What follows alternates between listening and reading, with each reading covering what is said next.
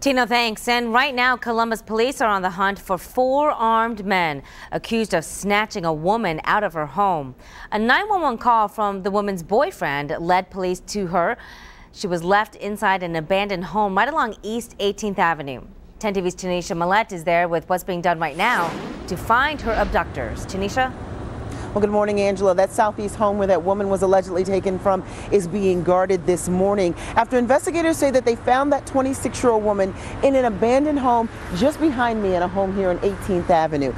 Franklin County Sheriff's Office says that the woman's boyfriend called 911 and said that four men who were armed barged into the home and kidnapped his girlfriend. That woman, they say, was also able to make a phone call, and that's how they were able to locate her at that 18th Avenue home.